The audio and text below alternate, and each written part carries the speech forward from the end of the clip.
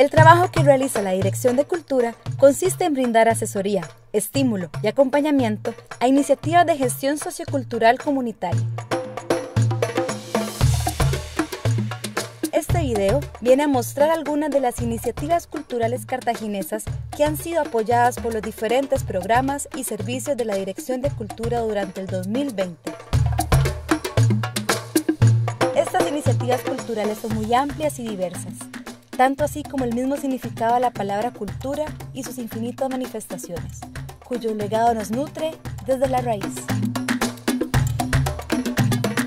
La cultura nuestra, como es tan diferente y es inexplicable, porque hay cosas que, que es, salió a la luz, hay otras cosas que la tenemos acá, ¿verdad? Entonces la idea es darle esa educación a la familia, a las señoras, para que ellas dé educación a los niños y seguir adelante con, con, este, con este ideas, con esta espiritualidad. La Oficina de Gestión Cultural de Cartago nos ha apoyado en cuanto a la formulación del plan de trabajo y como también la formulación para la organización de mujeres y también nos ha apoyado ahora con el tema de la construcción del Hutsini. Sahe, sahe tehe bieta yona reza, yola tindara yona kre, yona kre iska, mai tehe, kaya perdena kre.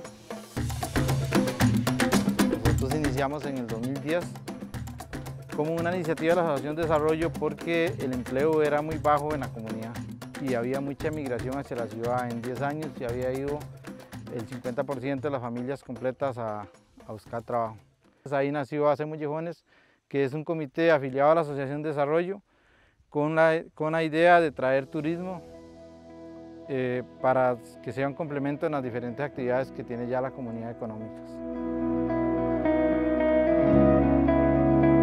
Nuestra iniciativa fue fortalecer y fomentar la cultura en nuestro distrito a través de diferentes expresiones y con diferentes iniciativas que promovieran la identidad de la comunidad. Bueno, hoy en día tenemos lo que es patrimonio, que es parte de, Tucurrique, la escuela, y la tenemos ¿verdad? como patrimonio, que aquí es donde queremos ver esa casa cultura de Tucurrique.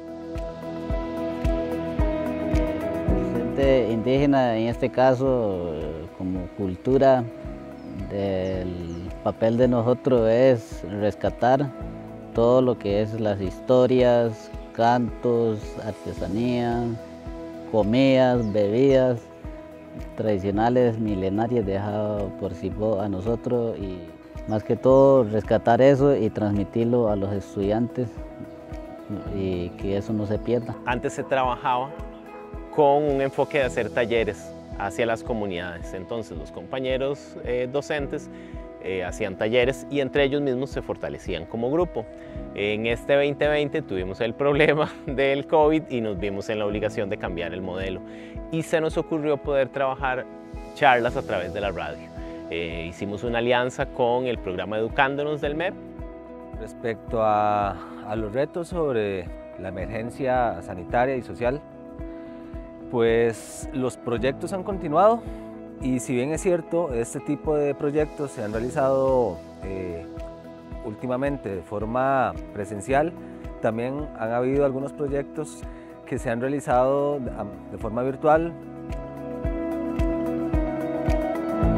Los talleres consisten en brindar a las personas primero eh, información sobre cuáles son los fondos concursables, eh, puntos de cultura y becas taller, también facilitar los contenidos para la elaboración de un proyecto, todas las partes en las que se compone y las etapas en las que se desarrolla.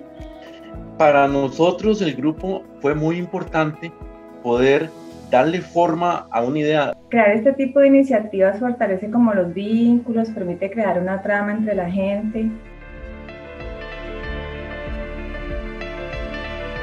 Dado la emergencia del COVID, el, proyecto se tuvo que transformar y surge eh, otro proyecto que se llama Series de Lectura en Familia, que lo que buscamos es lo mismo, democratizar el acceso a la cultura escrita, pero en este caso desde el consumo, eh, su consumo se realiza desde las redes sociales. El proyecto de paisajismo cartaginés nace como una necesidad para que el grupo de expresión plástica adolescente, que se enfoca más que todo en trabajar con poblaciones metas, chicos de 13 a 21 años, este, puedan representar parte de, de, su provincia a través pues, de los pigmentos, del color y de la observación en sí. O sea, es como una forma de relajarse porque, digo, aunque uno está en la casa y, y todo, generalmente uno se estresa por factores externos, internos. La verdad, en la pintura me ha transmitido como una serie de armonía. Yo con este proyecto aprendí que soy buena para la pintura. Una característica que tienen estos fondos concursables y los procesos que se gestan desde la Dirección de Cultura es que tienen un enfoque de gestión sociocultural, lo que implica la participación activa de las personas que proponen y el involucramiento comunitario. Ellas son las que determinan cuáles son las necesidades u oportunidades a las que quieren dirigir sus propuestas. Ellos son quienes lo construyen y este, desde la oficina se facilita como un apoyo o un acompañamiento para que las personas se sientan más confiadas o más seguras. Como lo dice la frase, invertir en cultura es invertir en la gente, eh, lo cual sí es un hecho, pero más allá de invertir en la gente es invertir en sus capacidades. Conocernos nosotros mismos, porque este, meternos en estas actividades nos ha llevado a conocer nuestras propias raíces.